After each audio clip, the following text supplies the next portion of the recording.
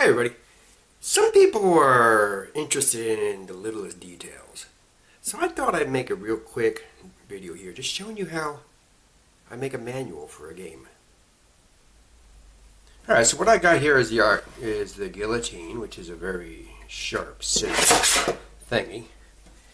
And this is the front. This is the cover and the inside cover for Arkadion.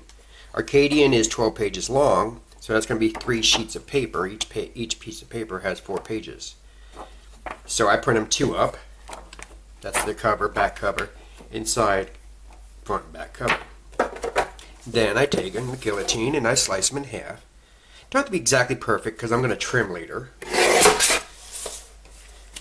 Then I'm going to do the same with the other parts of the manual also.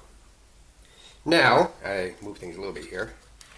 Now I have page one, two, three, the, the first the first sheet inside of the manual. And I'm going to cut that one too. Same thing. I try to make it as clean cut as possible, but as I said, once it's all bound together, I will then in turn will trim the edges to square it all off and make them look nice and pretty.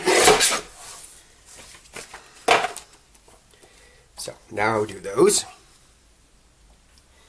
Okay, and then we had the final piece, which is the centerfold. Nice big pretty picture of the Arkadion. And again, we got to do the same thing. Got to cut them all down to five and a half inches tall. And then once we're done with that, then we put them all together. Alright, now we got them all separated into the, or cut to correct sizes in a pile in order. I break out my old Swingline. This I picked up at a thrift store. This is a book binding stapler. You can bind something up to two, actually up to three foot wide. Uh, not three foot, um, 13 inches wide. Two foot, two inches. It's got a little guide here, which I have the guide set at four and a quarter, which is half of eight and a half.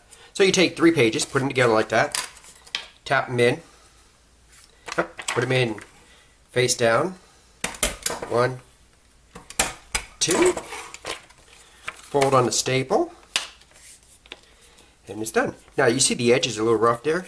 I will go back in with the guillotine and I'll trim these up and these will look very, very nice. So I only got, what, another 99 more to do here, and this is the second one of them. I already did a box full of 100. It's taking about half hour to do these. And then once you get done, then I said, then I would take I will run them through the guillotine and straighten them up. And I'll show you that now. So let's move these out to the side here, and I'll show you how I straighten them up. I won't pause for that one. I'll just go live.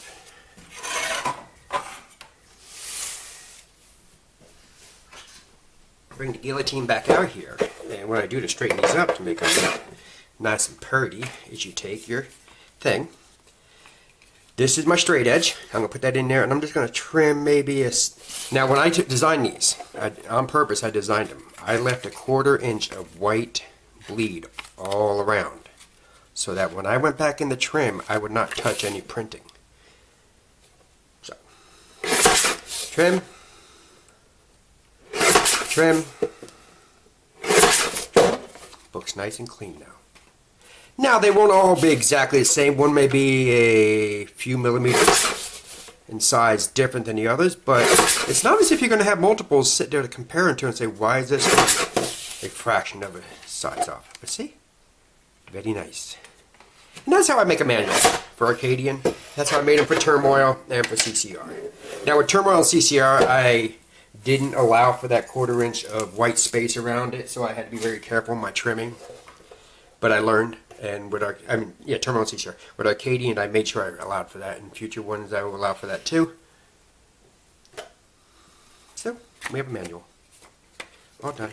Nice little Arkadion centerfold in the middle.